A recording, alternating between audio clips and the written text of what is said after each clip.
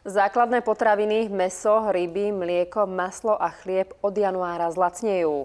Budú totiž zaťažené nižšou 10-percentnou sadzbou DPH. Štát na tejto dani vyberie asi o 77 miliónov eur menej. Práve toľko peňazí by mali na nákupoch ušetriť slovenské domácnosti. Zákon schválila Národná rada drvivou väčšinou hlasov. Okrem Smeru ho napriek výhradám nakoniec podporila aj takmer celá opozícia. Nižšia DPH sa bude týkať takmer všetkého čerstvého a chladeného mesa a takisto rýb, mlieka, masla a chleba. Zmena sa nebude týkať mliečných výrobkov, jogurtov a syrov, ani pečiva, vajíčok, ovocia a zeleniny a ani múky.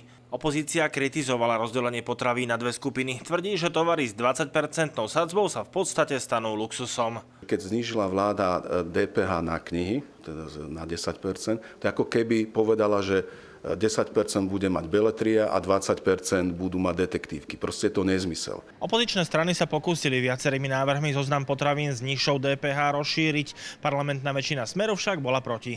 Je nepoctivé robiť zoznam po- základných potravín alebo nejakých potravín, dať tam ostrieža Nilského a nedať tam zemiaky. Je to príliš vážny zákon na to, aby sme ho mohli nejakým spôsobom pozmeňovať, meniť na kolene na základe nejakých pocitov. Chýbajú by tam typické e, produkty našej slovenskej kuchyne. E, sú to zemiaky, cibuľa, kapusta, paradajky.